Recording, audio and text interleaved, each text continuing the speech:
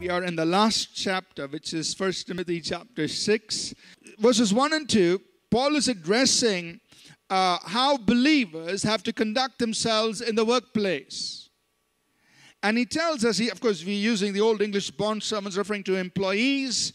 Uh, he says, you know, employees, I want you to honor your masters, meaning your employers or your bosses, so that the name of God and his doctrine must not be blamed. Paul is saying, Timothy, you need to tell people, you need to tell God's people that in the workplace, how they conduct conduct themselves, their conduct in the workplace, how they go about their life in the workplace is so important.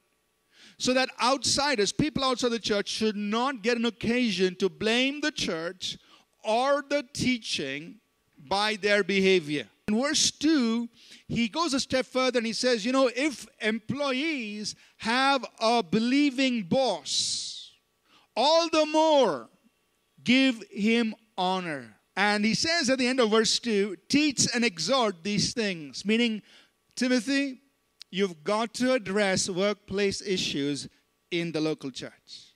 If you don't teach these things, then you're not giving yourself to wholesome words, literally meaning words of truth, truthful words, which are aligned to the words of Jesus himself and to godly doctrine, doctrine or teaching that furthers and develops godliness.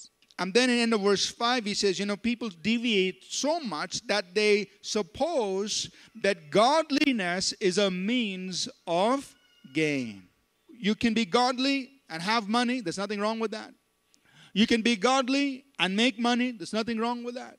What Paul is saying is don't use godliness. Don't use our faith. Don't use the church. Don't use the ministry. Don't use the work of God's kingdom as a means for personal gain. He says in verse 6 godliness with contentment is great gain. Contentment means to be happy, to be satisfied with what you have. There's nothing wrong, we know from Scripture, as we see throughout the Old and the New Testament Scripture, and Paul mentions it later on in verse 17, that it is God who gives us richly all things to enjoy. It is God who brings abundance into our lives. It is God who blesses us. It is God who gives us prosperity and wealth and riches. And we know there's nothing wrong with it. God seeks and desires to put the wealth of the world in the hands of his people. So God does that, and He's desiring to do that. The blessing of God is there. But what God wants to make sure is that we have the hard, right heart capacity to handle what He blesses us with. And this is what Paul says. If you desire to be rich, or verse 10, the love of money is the root of all evil. In view of all this, verses 11 uh, through 16, Paul is telling Timothy, here's your life, O man of God. You got to flee these things.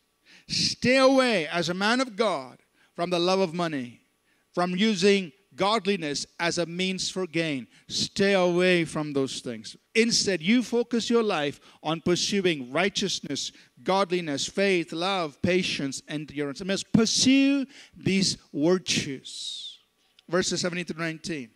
For those of us whom God has blessed us with money, with wealth, with prosperity in our lives, what are we supposed to do? Verse 17. He says, Command those who are rich, don't get proud. Don't think God is blessing you because you are so spiritual or you have great faith or you have this and that. You put your trust in God because it is God who gives us richly all things to enjoy. Verse 18 What should you do? Do good, be rich in good works, be ready to give, be willing to share. In other words, do good, be generous, bless others with what God has blessed you with. When you are generous to others, there is something that's happening on your behalf in eternity.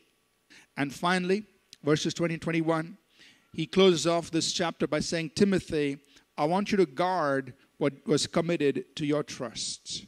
The verse that we would like to really highlight as a key takeaway is verse 6 Godliness with contentment is great gain.